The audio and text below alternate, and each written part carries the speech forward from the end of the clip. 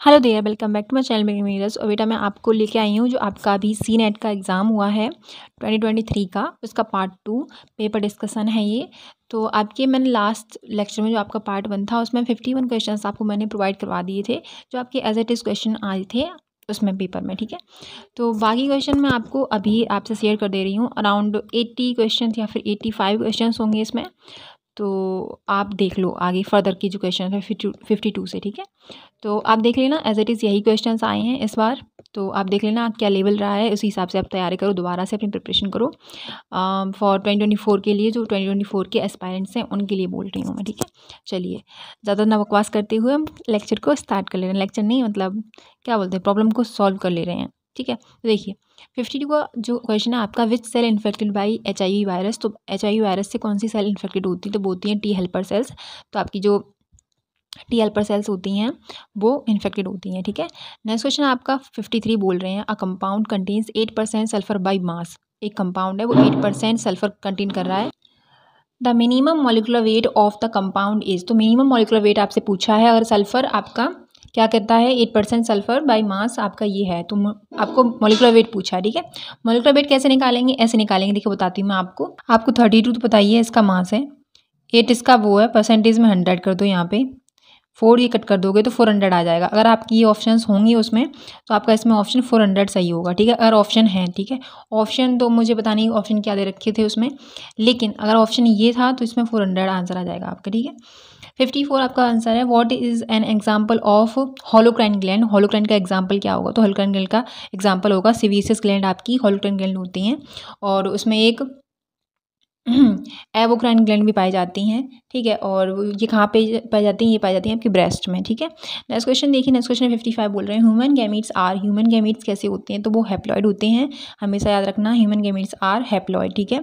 ये सब कुछ एन e से आपकी ट्वेल्थ की एन e है, जो फ़र्स्ट चैप्टर है रिप्रोडक्शन ऑर्गेनिज्म तो वहाँ से आया ये क्वेश्चन फिर देखिए नेक्स्ट क्वेश्चन है single chromatin is present in which part of human sperm तो इसमें से आपको बताना है। तो ये है आपका हेड हेड में प्रेजेंट होता है ये, ठीक है? और एक और बात बता दूँ, बेटा, आपको सारे बेसिक्स क्वेश्चन पूछे गए थे इस बार भी और लास्ट टाइम भी कि आप अपने बेसिक्स क्लियर करिए सबसे पहले। जो बिल्कुल ही बेसिक क्वेश्चन होते हैं, वही क्वेश्चन पूछे गए थे। ये नहीं कि बहुत ज़्यादा हार्ड था पेपर हार्ड मुझे नहीं लगता हार्ड था पेपर क्योंकि इस टाइप से क्वेश्चन पूछे जाएँगे आपसे तो बिल्कुल ही सिंपल क्वेश्चन था, कोई भी हार्ड एंड फास्ट रूल लगाना नहीं था बस आपको जो बेसिक्स चीज़ें होती हैं अपनी वो क्लियर करनी होती हैं ठीक है? तो वो क्लियर करनी थी और दैट से आपका पेपर हो जाता। फिर फिफ्टी सेवन देखिए sperm motility by sperm motility होती है आपकी फ्लेजला से फ्लेजला से फ्लेजला के थ्रू ही स्पम मोटाइल करता है ठीक है? नेक्स्ट क्वेश्चन है आपका।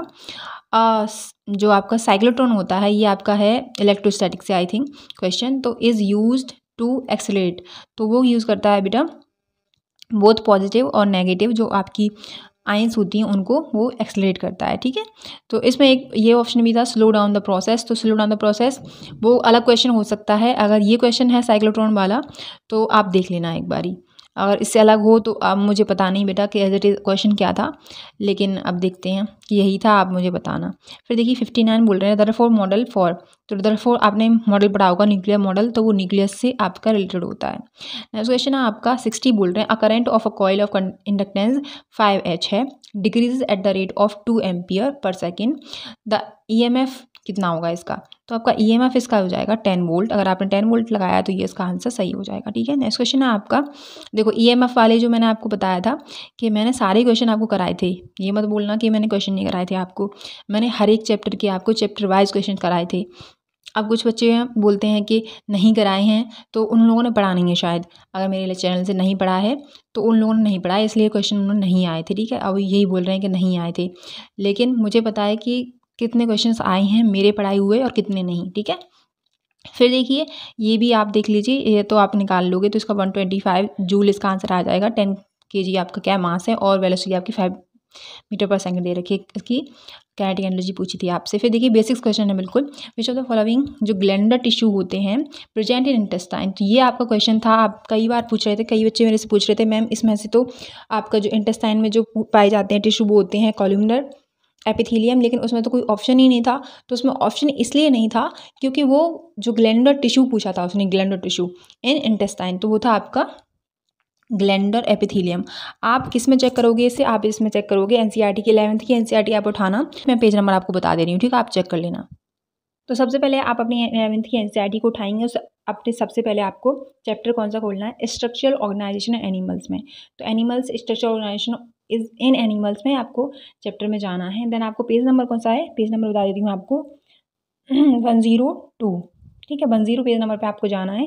तो सबसे पहला पैराग्राफ ही देखेंगे आप। तो यहाँ पे लिखा हुआ है सम ऑफ़ द कॉल्यूमनर और cuboidal cells get specialised for secretion are called glandular epithelium, ठीक है?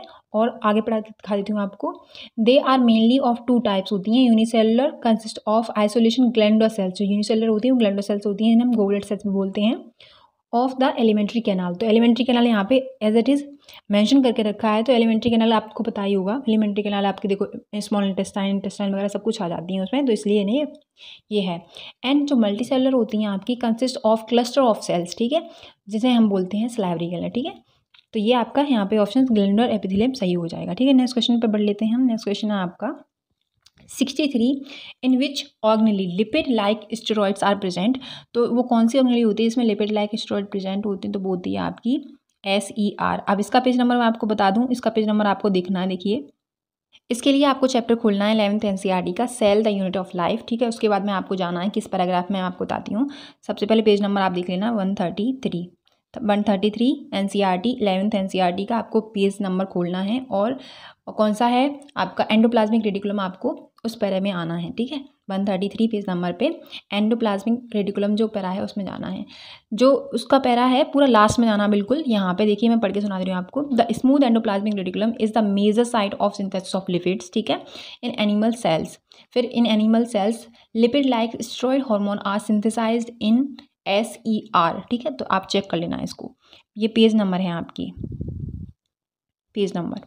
N C R T का eleventh N C R T में लिख दे रही हूँ यहाँ पे eleventh N C E R T check कर लेना एक बार, ठीक है? नेक्स्ट क्वेश्चन देखिए नेक्स्ट क्वेश्चन आपका स्टडी ऑफ़ ह्यूमन इवोल्यूशन तो स्टडी ऑफ़ ह्यूमन इवोल्यूशन क्या बोलते हैं? तो वो होता है आपका बी ऑप्शन एंथ्रोपोलॉजी ठीक है? नेक्स्ट क्वेश्चन है आपका होमोलोगस एग्जाम्पल्स तो होमोलोगस एग्जाम्पल्स आपको बताने हैं इसमें से। तो होमोलोगस एग्जाम्पल्स होमोलोगस होता क्या एग्जैक्टली तो होमोलोगस होता है same structure but different function ठीक है सेम स्ट्रक्चर होंगे बट डिफरेंट फ़ंक्शन होगा। तो इसी हिसाब से आप लगा सकते हो तो इसका आंसर क्या हो जाएगा? Human hand and bird wings हो जाएँगी। आपका फ़र्स्ट ऑप्शन ही सही हो जाएगा। इसमें क्यों? क्योंकि देखिए सेम स्ट्रक्चर है। देखो हैंड और विंग आपके सेम ही हाथ करते हैं, काम करते हैं, ठीक है? लेकिन उनका डिफरेंट स्ट्रक्चर है। हम, हाथ क्या है? हम चलने में काम कर रहे हैं, लेकिन विंग क्या है? आपको उड़ने में काम कर रहे हैं। तो इसलिए देखो, यहाँ पे मैंने आपको मेंशन भी कर रखा है। The wing of the bird and the arm of the human are example of क्या है आपका? ह्यूमोलोगस स्ट्रक्चर ठीक है? फिर देखिए नेक्स्ट क्वेश्चन आपका सिक्सटी सिक्स बोल रहे हैं। What is the meaning of mercenary तो इसका जो ऑप्शन हो जाएगा, वो हो जाएगा, बोल, बेटा C a soldier who fight for any group for money ठीक है? तो ये आपका ऑप्शन सही हो जाएगा मर्सरी के लिए। फिर देखिए नेक्स्ट क्वेश्चन है इंडियन आर्मी ग्रुप तो एक इंडियन आर्मी ग्रुप क्या होता है? तो उसे बोलते हैं ट्रूप ठीक है? ट्रूप आपका ऑप्शन हो जाएगा। नेक्स्ट क्वेश्चन आपका सिक्सटी एट बोल रहे हैं। Change active and passive available अब ये मुझे ऑफ़ पूरा उस बच्ची ने बताया नहीं। ऐसा ही कुछ आंसर था कि Abhay will change your desk ऐसा कुछ बताया था उसने। तो वहाँ पे अगर आपने वुड किया होगा स्टार्टिंग वुड से की होगी, जैसे अगर आप आगे कुछ होगा और वुड होगा, उसके बाद में अभय लास्ट में आ रहा होगा तो उसको और वुड आ रहा होगा आपका ये तो वो ऑप्शन आपका सही हो जाएगा, ठीक है? नेक्स्ट क्वेश्चन आपका सिक्सटी नाइन बोलते हैं which part of brain control heart तो इनमें से कौन सा पार्ट है जो कंट्रोल करता है हार्ट को? तो वो है मेडुला ऑब्लंगेटा ठीक है? बी ऑप्शन आपका सही हो जाएगा। नेक्स्ट क्वेश्चन है आपका सेवेंटी बोल रहे हैं। Which of the following is non metal इनमें से आपको नॉन मेटल बताना था। तो नॉन मेटल आपका हो जाएगा डी क्लोरिन ठीक है?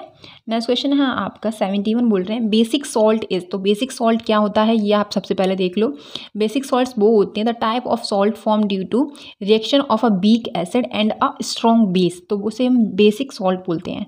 तो इसका जो एग्ज़ाम्पल है, आप सर्च करके देखोगे तो उसमें N A two C O three अगर एग्ज़ाम्पल हो, ठीक है तो ये हो ऑप्शन हो जाएगा। अदरवाइज़ अगर आपका एग्ज़ाम्पल होता, कुछ और, जैसे आपका एग्ज़ाम्पल होता, देखिए C H three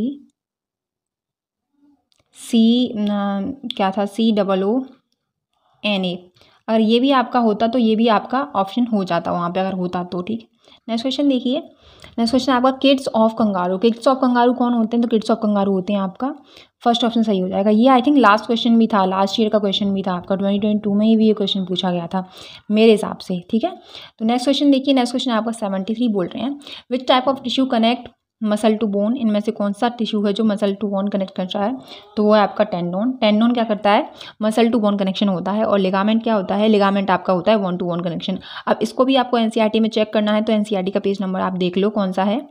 so page number आप फिर से जाएँगे वन ज़ीरो थ्री पे, जो आपका चैप्टर कौन सा है? स्ट्रक्चरल ऑर्गेनाइजेशन इन एनिमल्स ठीक है? उसमें सबसे पहले आपको लूज कनेक्टिव जो टिश्यू है, उस पैराग्राफ में जाना है, ठीक है? उसके बाद में आप जाओगे सेकंड पैराग्राफ में सॉरी आप दूसरे पैराग्राफ में एक पैराग्राफ दे रखा है, फिर दूसरा पैराग्राफ दे रखा है, फिर तीसरा पैराग्राफ दे रखा है। तो आपको तीसरे पैराग्राफ में जाना है। एंड बिल्कुल चैप्टर में आ जाओगे, जहाँ पे लिखा हुआ है फिगर सेवन पॉइंट फाइव के सामने जो पैराग्राफ है, उसमें जाना है आपको, ठीक है? तो देखिए, इसमें दे रखा है कि जो टेंडोन्स होते हैं which attached skeletal muscle to bones, ठीक है, यहाँ पे आपका क्लियर हो गया, ठीक है, मसल टू बोन कनेक्शन होता है और जो लिगामेंट होते हैं आपके which attach one one to another मतलब वन टू वन कनेक्शन होता है, ठीक है, आप चेक कर सकते हो। नेक्स्ट क्वेश्चन देखिए सेवेंटी फोर बोल रहे हैं largest period of which plasmodium of malaria तो ठीक है तो इसका जो ऑप्शन हो जाएगा बच्चा, वो हो जाएगा आपका मलेरिया फ़र्स्ट ऑप्शन जो ही जाएगा प्लाज्मोडियम मलेरिया ही। फिर देखिए BP is measured by BP किससे मेजर करते हैं तो ये तो आपको पता ही होगा तो ये तो आपको आपका ए ऑप्शन सही हो जाएगा। फिर नेक्स्ट क्वेश्चन है सेवेंटी सिक्स बोल रहे हैं आपसे। Magnetic field suspense in which direction तो वो है आपका ऑप्शन हो जाएगा north to north to south उल्टा लगा दिया मैंने सॉरी नॉर्थ टू साउथ इसका आंसर हो जाएगा, ठीक है? नेक्स्ट क्वेश्चन है आपका। Radio activity is discovered by radio activity किसने डिस्कवर की थी? वो तो आपके हेनरी वेक्यूरल। अब इसकी स्पेलिंग थोड़ी गलत हो सकती है तो उसके लिए सॉरी। नेक्स्ट क्वेश्चन है आपका सेवनटीन बोल रहे हैं, जो बालमा सीरीज़ लाइज अब ये मत बोलना कि ये भी क्वेश्चन मैंने नहीं कराया था, ये क्वेश्चन मैंने डेफिनेटली आपको कराया था, मुझे याद है। आपके कमेंट भी आए थे, मैम, ये थोड़ा रॉन्ग है रॉन्ग है रॉन्ग है तो मैंने इसे पिन कमेंट में भी किया था। तो जो आपका, जो यूवी रेज होती हैं, वो होती हैं आपकी लाइमन सीरीज़ में। लाइमन सीरीज़ में, ठीक है। देन उसके बाद में आपका होता है बालमा सीरीज़। जो विजिबल रीजन होता है विजिबल सीरीज़ वो पाई जाती है, वो पाई जाती है बालमा सीरीज़ में। और बाकी जो सारे होते हैं लाइमन बालमा पाश्चर और फुंड तो ये उनमें इंफ्रारेड रेज पाई जाती हैं। तो इसका जो ऑप्शन है बेटा, वो देख लो आप, इसका ऑप्शन हो जाएगा आपका बी विजिबल रीजन ठीक है? नेक्स्ट क्वेश्चन है आपका सेवेंटी नाइन बोल रहे हैं which metal present in free state इनमें से कौन सा मेटल फ्री स्टेट में पाया जाता है? तो वो होता है आपका प्लेटिनम ठीक है? नेक्स्ट क्वेश्चन है आपका एट्टी बोल रहे हैं डिफाइन शेप एंड साइज़, जो सॉलिड्स का डिफाइन शेप और साइज़ क्या होता है तो वो होता है आपका क्रिस्टलाइन सॉलिड्स नेक्स्ट क्वेश्चन है आपका एट्टी वन बोल रहे हैं। इमरजेंसी हार्मोन क्या होता है? तो इमरजेंसी हार्मोन आपको बताइए कि एड्रेलिन होता है, ये फाइट और फ़्लाइट और फाइट का दर्शाता है, ठीक है? या फिर भागो या फिर करो, ठीक है? फाइट करो, ठीक है? फिर देखो, आपका एटी टू है। एटी टू बोल रहा है आइडियल गैस क्या होता है? तो आइडियल गैस होता है high pressure low temperature next question देखो एटी थ्री हाईली जो penetrating power of which rays किस रेज में? हाईली पेनिट्रेटिंग पावर पाई जाती है तो वो होती है आपकी कौन सी? गामा रेज गामा रेज होती है, एक मिनट में चेक कर लेती हूँ। इसका ऑप्शन क्या हो जाएगा बेटा? देखिए। तो इसका देखिए, नीचे नोट लिखा हुआ है, जो गामा रेज होती हैं एंड एक्सरेज होती हैं हैव हायर पेनिट्रेटिंग पावर ठीक है? नेक्स्ट क्वेश्चन देख लो आप, जो हाइपरमेट्रोपिया होता है can be corrected using hypermetropia होता क्या? एक्जैक्टली मैं आपको बताती हूँ कि हाइपरमेट्रोपिया में जो आपके बुज़ुर्ग होते हैं, जैसे मम्मी पापा होते हैं अपने लोगों के तो उनको नज़दीक का दिखना बंद हो जाता है, लेकिन दूर का बिल्कुल साफ़ साफ़ दिखता है। अपने लोगों में क्या होता है, जो अपने लोग हैं, जैसे अराउंड कितने होते हैं, देखो, आपके आपकी टीन टीनेजर से ही ले लो, ठीक है? तो वो लोग क्या होते हैं, उन्हें दूर का नहीं दिखता है, लेकिन पास का दिखता है, ठीक है? तो हाइपरमेट्रिया को हम करेक्ट करना चाहते हैं तो उसके लिए हमें कॉन्वेक्स लेंस जो कनकेव लेंस होता है सॉरी लेंस से, ठीक है? फिर देखिए आपका Indian to win Booker prize इनमें से आपको है Indian to win Booker prize कौन था? तो वो थी आपकी अरुंधति रॉय ठीक है? ये आपका ऑप्शन है फ़र्स्ट तो ये that's it for today's class तो आप देख लीजिए, ये आपकी ऑप्शंस थे क्वेश्चंस थे, जो आपके इस साल पूछे गए हैं ट्वेंटी ट्वेंटी थ्री में सी नेट के एग्ज़ाम में for B S C nursing U P B S C nursing के लिए। आप ट्राई देख सकते हो कैसे क्वेश्चन आए थे, उस हिसाब से आप प्रिपरेशन स्टार्ट कर दो, अपने ट्वेंटी ट्वेंटी फोर के जो एस्पायरेंट हैं, उनके लिए बोल रही हूँ मैं, ठीक है? Okay bye take care love you all